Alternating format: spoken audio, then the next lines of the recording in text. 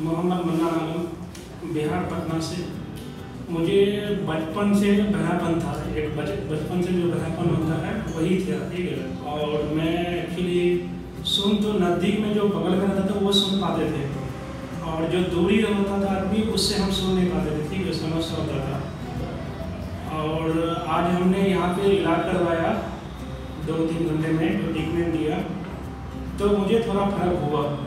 हम अपने गाँव में जो संडे में एक डॉक्टर आता है जो कान के लिए, उनके पास गए थे। उसके बाद बम्बई में डॉक्टर है, वहाँ पे एक दो डॉक्टर को टेस्ट कराए थे।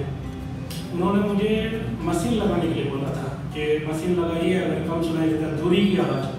तो ये जब तक काम करेगा, नहीं तो इसका कोई अभी इलाज नहीं है। आप जो काम कर रहे हैं, वो बिल्कुल भी एक हिसाब से बहुत अच्छा है। और आगे चल के अगर जैसे एक नॉर्मल आदमी जैसा सुनना चाहता है, इसी तरह से हो तो ये बहुत अच्छी बात है।